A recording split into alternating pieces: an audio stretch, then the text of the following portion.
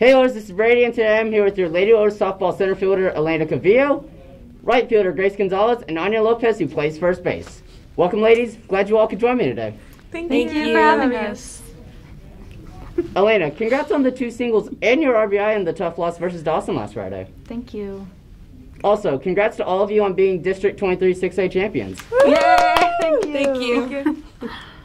Alayna, what are you most proud of this season and the years you have played for the team? Um, I think I'm most proud of everyone working through injuries because in the beginning of the season, pretty much half the team was hurt, and we really worked through it and utilized all the talent we had, and we kind of still tried to exceed and in everything we do and live up to the Pearland softball tradition. Um, yeah, and what this program is about.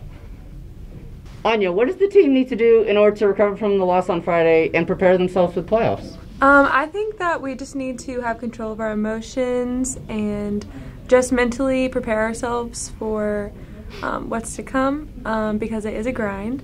And I just think we need to be confident in the talent that we have and because we have a lot of talent and energy and positivity and I think we just need to lean on that and we'll go far. We have a lot of young talent. Speaking of that, which one of you three do you think is the most talented on the team?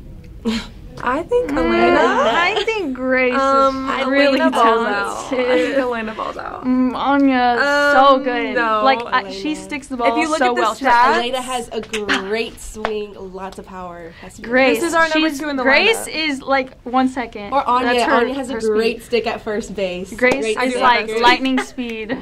I'm so throw. slow. I Hey, but you hit it hard. every time coach tells me to steal, I'm out. So, It's okay. Anyways, but yeah, Alayna's the answer. no, Anya. Grace, Grace and Anya are very good. Um, anyways, Grace, No. what strengths does the team have that can be utilized to progress in the playoffs? Um, our team has a lot of fight, and uh, we don't give up often. Um, It happens. I think that yeah, it happens. I think that we have a lot of talent on the team, like we all keep saying, and obviously that's going to take us far in the playoffs.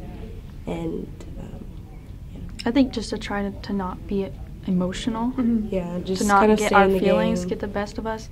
I mean, One inning goes wrong, I Yeah. think some teams really just like shut down. once the pitcher shuts down, then everyone shuts down, or once someone doesn't get a hit, then everyone doesn't get a hit. I think we really just need to kind of just that. like have that mentality, like oh they're up, but like that doesn't mean anything. It's still early, early in the game, and we Yeah. can come back from that like we always do. I think we should just like get ahead early in the game because when, Yeah. when we do that, we shut other teams down. Yeah, and then like everyone has like the momentum and like mm-hmm. adrenaline. Everyone's like after one person hits, like then everyone else starts to hit, mm-hmm. and then like it's just like hit after hit, and then like the other team just keeps making errors, and mm-hmm. we keep scoring.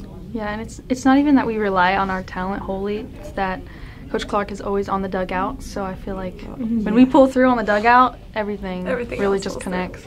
And if the dugout doesn't pull through, then neither does the team. Yeah, neither does the it's team. always a.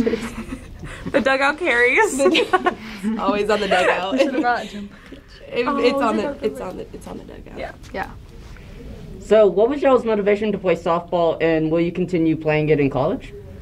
Um, my motivation to play softball when I was younger was that my two siblings were in baseball and softball. Um, eventually, both of them quit, but I just picked up the bat right after my brother and I just kept with it, I guess.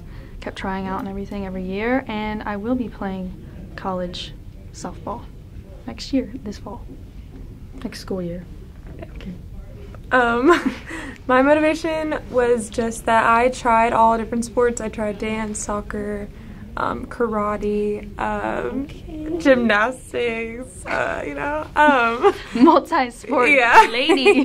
but I fell in love with softball, and I just never wanted to quit. And I just hold on to like the passion that I had when I was younger for it. Um, and I will not be playing in college. Well, uh, the way I kind of played softball was because I saw that my sister did it, and I was like, okay, I guess I'll try too. And then I ended up like falling in love with it, and now I kind of just play like to, I guess like pay back my parents all the time and money that There they is a lot of time and money yeah put and into So I kind of do it for them, and I am playing next semester, I guess, next school year in college. Go dogs. Bulldogs. Dogs. Go. Thanks, ladies, for coming on the show.